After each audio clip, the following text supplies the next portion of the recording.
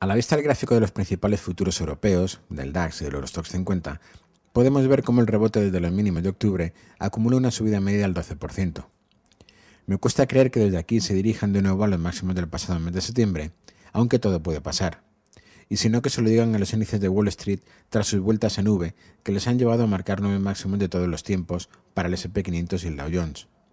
En cualquier caso, la primera zona de soporte en los índices del viejo continente la encontramos en los huecos alcistas del pasado viernes, los 3.037 puntos del futuro del Eurostox, los 9.149 puntos del futuro del DAX y los 4.152 puntos del futuro del CAC.